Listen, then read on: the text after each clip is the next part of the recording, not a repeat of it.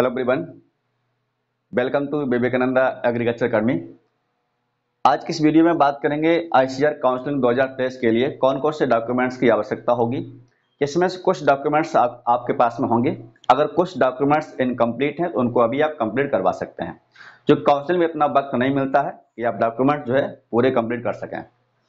इसके पहले बात करें कुछ और विषय के बारे में। जैसा कि कई विद्यार्थी यहाँ पर परेशान है डेली मैसेज करते हैं रैंक कार्ड के बारे में। तो रैंक कार्ड आपका इसी वीक में जो है आ जाएगा। ठीक है? रैंक कार्ड आने के बाद आप सभी को पता है जो भी आपके एस में कॉलेज कोर्स होते हैं, उसमें जो काउंसलिंग में जो बेस होता है, वो आपका रैंक बेस होता है। रैंक बेस पर आपकी काउंसलिंग होती है। अभी फ़िलहाल जो बीएचयू की काउंसलिंग जो चल रही है, ठीक है 2022 में भी अगर आप देखेंगे तो 2022 में बीएचयू में मार्क्स के बेस पर जो है काउंसलिंग हुई थी। और जैसा कि आपके मार्क्स जो है, वो परसेंटाइल के आगे मेंशन है, आप सभी ने देखा होगा। हमने पहले दो वीडियो बना के दिए भी यूट्यूब पर, आप देख सकते हैं। यानी कितने मार्क्स पर बी सिलेक्शन आपका हो सकता है। अगर उतने मार्क्स आपके लाई कर रहे हैं अगल बगल में है तो आप बीएचयू के लिए काउंसलिंग ज़रूर करा सकते हैं। जिन विद्यार्थियों के अच्छे मार्क्स हैं, उन सभी के लिए। ठीक, चूँकि अच्छे नंबर पर हैं तो आपके बी मेन कैंपस से आपको जो साउथ में राजीव गांधी कैंपस है, वो आपको मिल सकता है। अलग अलग कोर्स के अलग अलग यहाँ पर काउंसलिंग है। बीटेक डेयरी का अलग है एग्रीकल्चर का अलग है। ठीक है? अलग अलग कोर्स के लिए। मैथ और बायो का अलग काउंसलिंग हो रही है तो यहाँ पर आप काउंसलिंग ज़रूर भाग ले रहे होंगे। फ़िलहाल यहाँ पर बात करेंगे आपके जो है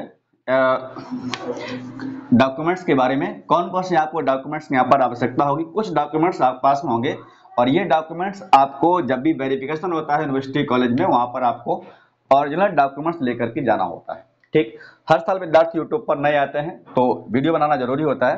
पहले यहाँ पर बात करेंगे आपके पास में टेंथ की ऑलरेडी मार्कशीट यहाँ पर होगी। टेंथ की और यहाँ पर हम सेकेंड बात करेंगे ट्वेल्थ की। ठीक? टेंथ और ट्वेल्थ की दोनों की ओरिजिनल मार्कशीट होनी चाहिए। इसके बाद में आ, इसमें डेट ऑफ़ बर्थ मेंशन ज़रूर होता है। टेंथ की मार्कशीट में अगर नहीं है तो आपको डेट ऑफ़ बर्थ जो है अलग से बनवाना होता है। ठीक? इसके बाद का नंबर थर्ड थर्ड नंबर अगर आप यहाँ पर देखेंगे तो आपके पास में आधार कार्ड भी होगा, ठीक है? आधार कार्ड होना चाहिए। अगर हम बात करें यहाँ पर फोर नंबर पर तो कॉलेज से ही आपका बनता है करेक्टर सर्टिफिकेट यानी प्रमाण पत्र। करेक्टर सर्टिफिकेट इसे हम लोग बोलते हैं, चरित्र प्रमाण पत्र, ठीक है? इसके बाद हम बात करें यहाँ पर नंबर फाइव पर कास्ट सर्टिफिकेट के बारे में, जाति प्रमाण पत्र। कास्ट सर्टिफिकेट ठीक? अगर आप यू आर कैटेगरी से हैं, ठीक है तो आपका कोई भी यहाँ पर कास्ट सर्टिफिकेट नहीं लगता है जनरल कैटेगरी का।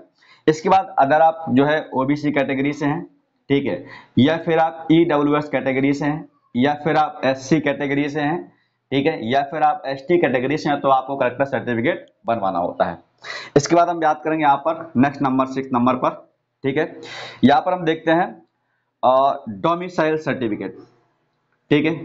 डोमिसाइल सर्टिफिकेट डोमिसाइल सर्टिफिकेट आप सभी को पता है, हिंदी में इसको हम लोग बोलते हैं मूल निवास। क्या बोलते हैं इसको? मूल निवास। ये भी आपको बनवाना होगा। ठीक है? मूल निवास। क्योंकि कई बच्चे मोस्टली फ़र्स्ट टाइम हो सकता है एग्ज़ाम क्रैक किया सीवीटी अभी तक उन्होंने कहीं भी जो है एडमिशन नहीं लिया होगा तो उनको इनकी डॉक्यूमेंट्स की आवश्यकता नहीं होगी। लेकिन अगर आप आईसीआर में जाएँगे, किसी भी कॉलेज यूनिवर्सिटी में तो वहाँ पर आपको इन डॉक्यूमेंट्स ज़रूरत पड़ेगी। ठीक? तो हो सकता है आप पास मूल निवास ना हो, कास्ट सर्टिफिकेट ना हो, ठीक है? बाद में कुछ डॉक्यूमेंट्स इसमें आपके ऑलरेडी होंगे तो ये आपको ज़रूरत नहीं है, ठीक? इसके बाद यहाँ पर बात करेंगे नेक्स्ट पॉइंट्स के बारे में। देखिए, चलिए, अब यहाँ पर हम देखते हैं, और ये जो आपके होने चाहिए, ये आपका सेंट्रल वाले होने चाहिए, ठीक है? सेंट्रल ठीक? सेंट्रल चलिए, अब यहाँ पर बात करेंगे आपका इनकम सर्टिफिकेट ठीक सेवन नंबर पर एक आता आपका इनकम सर्टिफिकेट इनकम सर्टिफिकेट हम लोग नाम देते हैं हिंदी में आय प्रमाण पत्र. यह है आपका क्या? आय प्रमाण पत्र. ठीक, इसके बाद इसके बाद यहाँ पर हम देखते हैं जिस कॉलेज से आपने लास्ट एजुकेशन जैसे ट्वेल्थ पास किया है तो यहाँ पर आपका TC transfer certificate and college leaving certificate कुछ लोग उसको सीएलसी भी कहते हैं। या फिर हम लोग बोलते हैं माइग्रेशन सर्टिफिकेट। Migration certificate. ये आप पास में होना चाहिए। जब भी आप देखिए, पहले आपको नहीं लगेगा, लेकिन जैसे आप एडमिशन के दौरान जाएँगे अलॉटमेंट लेटर लेकर के किसी यूनिवर्सिटी में तो ये आपको डॉक्यूमेंट तब आपको इसकी आवश्यकता पड़ेगी। ठीक है? इसके बाद हम बात करेंगे नाइन्थ नंबर पर। अगर आपने गैप हुआ है तो यहाँ पर आपका लगेगा गैप सर्टिफिकेट। Gap certificate. अब गैप सर्टिफिकेट तब लगता है अगर आपने मान लिया एक साल का ड्रॉप लिया हुआ है। जैसे अगर सपोज़ तौर पर मान लो आप 2023 में एडमिशन ले रहे हैं आईसीएल काउंसलिंग में, ठीक है कॉलेज में, और आपने 10 प्लस टू यानी जो ट्वेल्थ पास किया वो 2022 में किया था। मोस्टली विद्यार्थी ऐसे होंगे। तो उनको एक साल का जो है, ये गैप सर्टिफिकेट बनवाना पड़ेगा। अगर आपने हो सकता है कुछ विद्यार्थी ऐसे होंगे जिनका 2021 में हुआ होगा तो उनको दो साल बनवाना पड़ेगा, ठीक? जैसा जितना गैप रहा है, उतना आपको बनवाना पड़ेगा। अगर आपने 2023 में अभी हाल ही में ट्वेल्थ पास किया है और आपने तुरंत क्रेक कर लिया तो आपको बनवाने की आवश्यकता नहीं होगी। ये गैप सर्टिफिकेट जो होता है ना, ये गैप सर्टिफिकेट, ये एक स्टाम्प पेपर आता है, दस, बीस, पचास रुपए का, जैसे भी आप में दया हो। उतने का आप लेकर के और ये जैसे आपका तहसील है, कोर्ट है, कचहरी है, वहाँ पर जो है बन जाता है। तुरंत बन जाता है, एक डेढ़ घंटा लगता है। वहाँ बताना होता है हमारा हमारा सर जो है 2020 में ट्वेल्थ पास किया है। तीन साल का हमारा गैप है, तब तक मैं प्रतियोगी परीक्षा में तैयारी करता रहा। इस तरीके लिख देंगे तो आप गैप सर्टिफिकेट जो है, वो बन जाएगा। ज़रूरी होता है बताना कितना गैप आपने कहाँ किया है। हो सकता है तीन साल बाद विद्यार्थी कई ऐसे में बीएससी कर चुके होते हैं बीए कर चुके होते हैं, उनको एग्रीकल्चर में जाना होता है तो तीन साल का अगर गैप हो तो भी चलेगा, कोई दिक्कत नहीं है। ठीक? अब यहाँ पर बात करते हैं नेक्स्ट पॉइंट के बारे में। नंबर टेंथ नंबर एक आपका है कभी कभी मांग लेते हैं ये लोग मेडिकल सर्टिफिकेट आप फिट हैं कि नहीं है? हालाँकि ये कोविड के दौरान बहुत ज़्यादा चला था मेडिकल सर्टिफिकेट ठीक है? अभी भी जो है, मांग लेते हैं ऑफलाइन जब भी आप जाएँगे, बाद में यूनिवर्सिटी में अलॉटमेंट लेटर के डॉक्यूमेंट वेरिफिकेशन के बाद तो इसकी आवश्यकता आपको पड़ जाती है। तो ये कुल मिला के आपके पास में डॉक्यूमेंट जितने बता दिए हमने, ये डॉक्यूमेंट्स इंपॉर्टेंट हैं, ये आपके पास में होने चाहिए। ठीक है, बिना इनके आप जो है काउंसलिंग नहीं करा पाएँगे। क्योंकि यहाँ पर आपके पास में ओरिजिनल डॉक्यूमेंट्स अगर आप नहीं है तो कुछ अगर आपको प्रॉब्लम हो तो मुझे कमेंट करिएगा, बाद में आपको बता देंगे। ठीक है, क्योंकि आपके पास में ये ओरिजिनल डॉक्यूमेंट्स ज़रूरी है। होना। और अगर आपके डॉक्यूमेंट्स नहीं है तो आप जो भी इनकम्प्लीट डॉक्यूमेंट्स वो आप यहाँ पर बनवा सकते हैं। ठीक है?